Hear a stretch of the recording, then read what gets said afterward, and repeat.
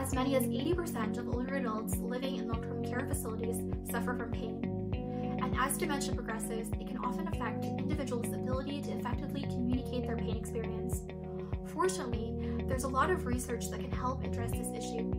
But despite this, we still see that pain is underassessed, undermanaged, and undertreated in this population.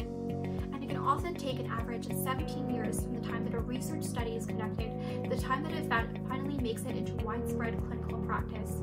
So in order to help shrink this gap, we wanted to increase the accessibility and uptake of evidence-based information to care caregivers, family members, older adults, as well as health professionals.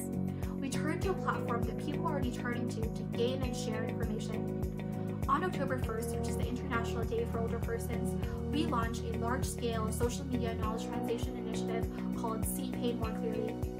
The main goal of our project is that we wanted to raise awareness as well as to share evidence-based information about the problem of pain under treatment and under management in people with dementia.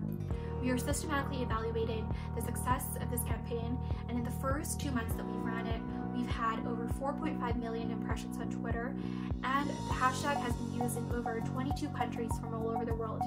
We wanted to take evidence-based information and transform that into understandable and distributable content through clips, videos, and photos so that caregivers and older adults can easily share this and use to strike up more conversations about this topic.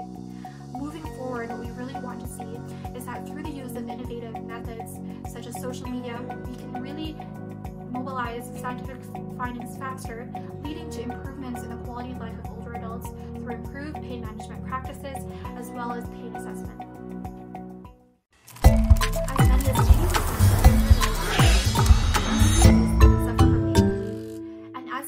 Progresses, it can often affect individuals' ability to